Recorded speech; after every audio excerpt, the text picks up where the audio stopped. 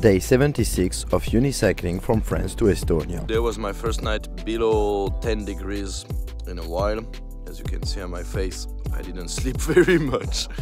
It was pretty much impossible to sleep between 4 a.m. to 7.30. So clearly I need to get a better sleeping bag. And I see pretty much two options. The first option will be to simply buy a new sleeping bag in Riga. But I don't like this option so much because in the Baltics, camping gear are very expensive. And the second option would be To ask my mom to buy me a good sleeping bag in France and ship it to me somewhere on my way.